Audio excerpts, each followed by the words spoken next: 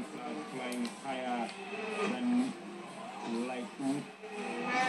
higher than before, and this into members of our press also given example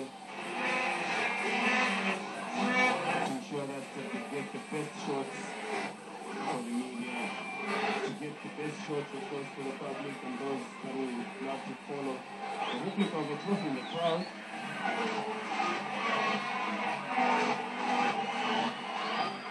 Silence and uh, Vuvuzela sounds.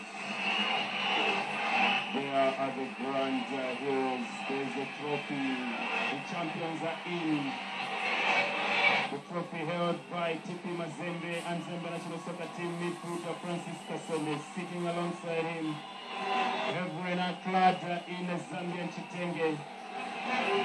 He is Zambian, most Zambian among them, Hichani Himoonde, Masha Chilemena, of course, James Chamanga there, as the team makes uh, entry into the Lusaka showgrounds.